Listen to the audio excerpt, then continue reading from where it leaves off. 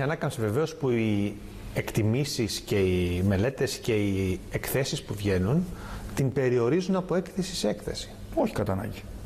Όχι. Είναι ποια θα πιάσει κανείς, ποια, Όχι. ποια ανάλυση και ποια έκθεση Όχι, θα πιάσει κανείς. όχι κατά ανάγκη. Εγώ έχω δει και ε, ε, εκτιμήσεις, ε, είμαι πάντα προσεκτικός όταν κάνω προβλέψεις. Αλλά μπορώ να σας πω ότι είμαι απολύτως βέβαιος ότι η ανάκαμψη θα είναι πολύ ισχυρή. Και δεν έχει σημασία, ξέρετε, μόνο η ανάκαμψη αυτή καθ' αυτή. Έχει σημασία η ποιότητα της ανάκαμψης. Να συνδέεται όχι μόνο με κατανάλωση, αλλά με επενδύσεις. Να συνδέεται με εξωστρέφεια. Να συνδέεται με καινοτομία. Να συνδέεται, όπως σας είπα, με τον πράσινο μετασχηματισμό της οικονομίας μας. Και αυτή τη στιγμή έχουμε στη διάθεσή μας ένα ακόμα μεγαλύτερο όπλο, το οποίο δεν είχαμε πριν από 15 μήνες, και αυτό είναι το Ταμείο Ανάκαμψης.